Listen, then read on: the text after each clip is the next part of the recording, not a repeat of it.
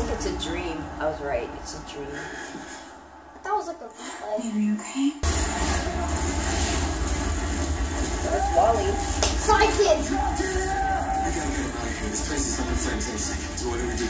Create an exit point for the heat and smoke to remove all the oxygen at the same He's time. gonna die. Open up the fire. I say so, open the door, alright?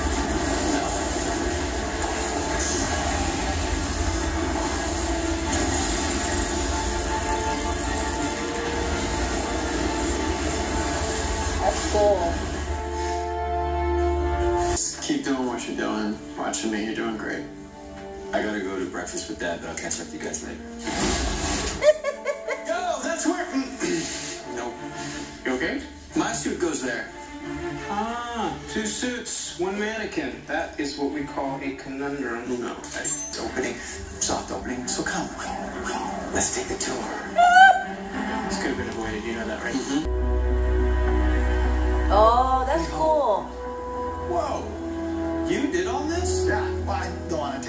credit. I'm too modest to do that. Yeah. Uh, who exactly is paying for all this? Exactly. Great question. Oh, wait. So right over here we have the ticketing. You gotta answer the admissions question. Over there are How did you specialty pay for all that? Oh, uh, that reminds me, Caitlin. Initially, I had you targeted for ticketing, but it occurs to me with a few lessons in film art, you could very well man up, excuse me, woman up our cappuccino stand. What do you think? That's cold. HR, I think Caitlin's gonna have plenty to do, as it is. Can I ask you a question?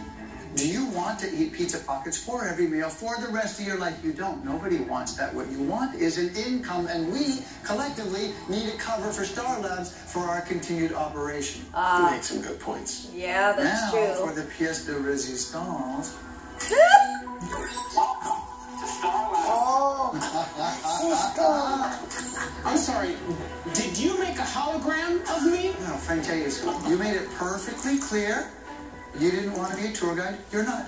You're a virtual tour guide. Guess I guess it's a little late for that now. Yeah, guess again. Nice. Oh. that's in the Young Justice. That's in the game. Barry, behind you. Ooh. Holy smokeroo. That's cool. It's like, look at that. He's chasing after him. Shake faster. Huh? He needs face. Oh, face on the wall. Oh, Oh, that's cool. He's walking away.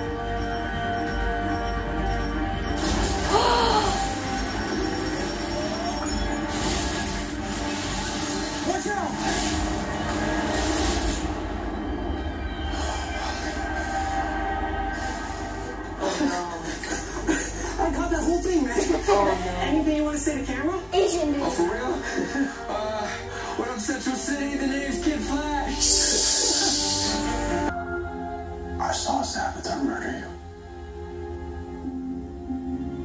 And I saw myself, and I, I wasn't fast enough to save you. Barry, if you would. So you could change the future, but you have to be very careful about which events you alter. Wow, impressive. We need to figure out everything that happens leading up to Iris' death. And when I saw the future, there was a news scroll on TV. That could offer us some clues. Absolutely. I think you can help with that. Hang on, McFly. I'm about to buy you back to the future. Oh, that's when, um, The me from Christmas just came out of the Speed Force.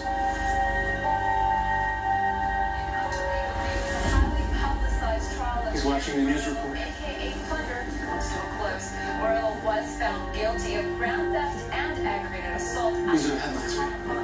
right? Headlines. Yeah, you, you know what? Call, call them out. I'll write them down. Um, music Meister gets six-figure book deal. Luigi's opens after murder. Joe uh, West honored at City Hall. Good for you, Joe. Killer. What does it say? Killer Frost still at large. Star Labs Museum closes. Oh, wow, that sucks. City's still recovering following guerrilla attack. Don't!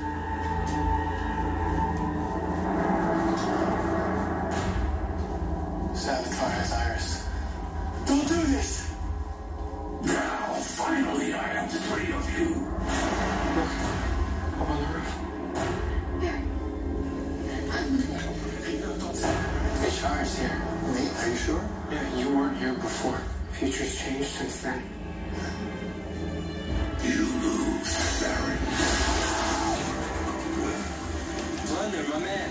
Where do you think you're going? Right through you. Oh! Whoa, Wally! Woo, Wally! Woo! How's it going? That is awesome. Look at Wally go.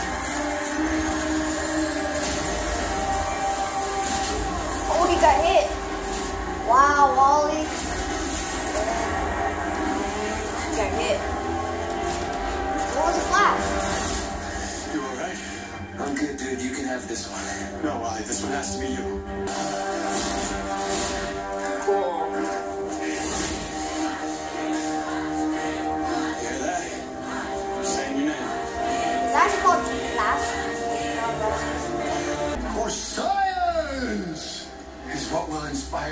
Children, not just a flash. Check it out. Welcome to Star Labs. My name is Francisco Ramon. Hey, I got you guys a plant. That's like the standard house right? On my earth, on my earth, we get reptiles. Whoa. Present to you, McSnurtle, the turtle. What Careful. do you call it? She bites. Right, Oh, this is for me. That's for me. I know, mixed, mixed. Wow. Hey. You two did really well.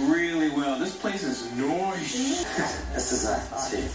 Ah, thank you. Yeah. Um, yeah. So we all talked it over and welcome to the team. You being serious? Yeah. Thank you. yeah, it's so exciting. I mean, my last team, they were all murdered by Savitar, so.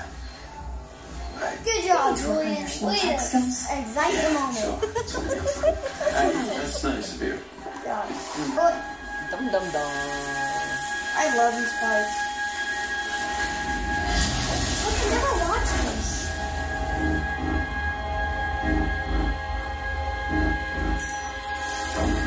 Hey, welcome back. It's Jocelyn. What'd you think about this episode? For me, I thought it was a really good episode. It's nice to see where they picked up from the show. It looks like there wasn't that much excitement, but just kind of settling down from the holidays and just settling into their new place. Um, Barry, he's definitely been having some dreams about those episodes with Savitar, and I'm just thinking, just in general, wouldn't Barry experience some sort of PTSD from all the stuff that he experiences? I just would think, I'm just thinking Barry would just have a problem with sleep, period. I mean, how do you get a good night's sleep from all that? Okay, so Caitlin blindsided the team by asking Julian to be part of Team Flash. Uh, I don't know if that. I actually didn't think that was a good idea because I'm thinking he's probably gonna end up becoming repossessed by Savitar, and now you got someone working on the inside. So I would have nixed that idea. That wasn't something I would have wanted, but yet I can understand how she wanted to pull him in, draw him in, help him feel connected and supported. So I can see that. I mean, Caitlin has a really good heart, so uh, we'll just give that to her. Barry is now being faced with that jewel thief, plunger. No, his name's not plunger. His name is plunder. Plunder. I don't think it made a difference if Kid Flash captured plunder. The point is, he's still gonna go to jail. He's still gonna be put on trial. He's still gonna get a verdict hearing. So I really don't think they made any difference with that headline. That's just me per se, just thinking about that. Really like how Cisco is being nice to HR. I mean, he was Cisco was being a really big jerk, and I know he was just telling like it is. He just lost his patience. But you know what, Cisco, you've been an ass. Let's just say it. He's been an ass, and he was mean. Cisco's been really mean. So it's nice to see him do something nice for HR and to get that Star Labs up and running, calling the schools. Now that's better marketing, and that's better marketing. So good job, Cisco. It's like, hey, I you know I'd like to go there and visit. I think it's good that the writers are going to give us a little bit more background now about H.R. Wells because we, we truly wondered what was his role, what is his true intention, what is he really meant for in this storyline. We all never knew, so it's it's nice that we're finally at this point in the series. Um, and in the year that okay we're going to start getting some answers and more character development so i really like that Okay, so my predictions. It's prediction time. Okay, um, so some predictions that I just want to say is I'm going back to the prophecy that Alchemy had, had mentioned previously. No, it wasn't Alchemy, it was Savitar. Savitar mentioned that prophecy way back when. He said, if I remember correctly, help me out, so forgive me if I don't get it right. Um, so he mentions one will fall, one will betray the group, one will die, one will experience pain worse than death. Um, so where I'm thinking now is I'm actually thinking with Julian being part of the team, I think he's going to betray the group because I think he's going to be repossessed by Savitar. Or I'm thinking it could be Caitlin.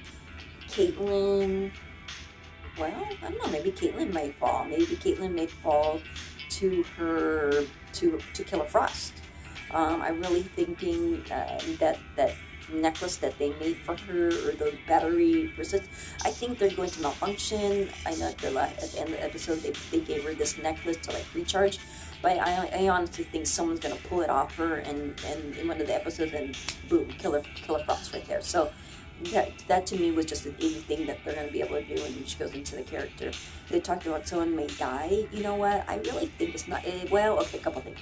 It could be Iris and they're just gonna follow through with with that destiny. I mean, it kind of foretold what the destiny would be, but because this is time travel, and I've heard this before, time travel, that they could probably go back and save her, or maybe do something. But I think in the end, she's supposed to die.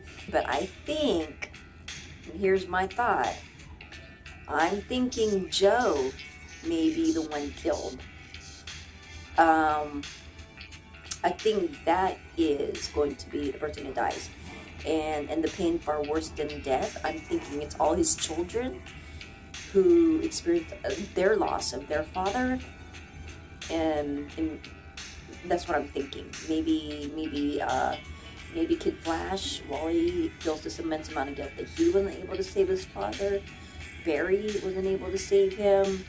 Um, that would suck though, right? That would really suck if Joe was if Joe was no longer gonna be part of this show. So I hope I'm wrong, but I'm just thinking, you know, I really don't think Iris is going to die. I think they renew that, and I think the twist is I think Joe's going to die. Like I said, I, I, I hope I'm wrong. Um, I just think, I just think that no matter what, even if they try and change these timelines or these headlines, even though they're going to be altered, I still think it's going to lead to the same destination but the the person who's gonna die is gonna be different. I think it's just gonna be switched around. But whatever's supposed to happen will happen, but it's gonna be with different characters. That's my flash reaction and review. If you like this, please feel to subscribe to my channel. I also have some other videos that I like to do called Jocelyn's Journey, um, a little tidbit about myself. So uh, please watch. Thank you so much and see you next week.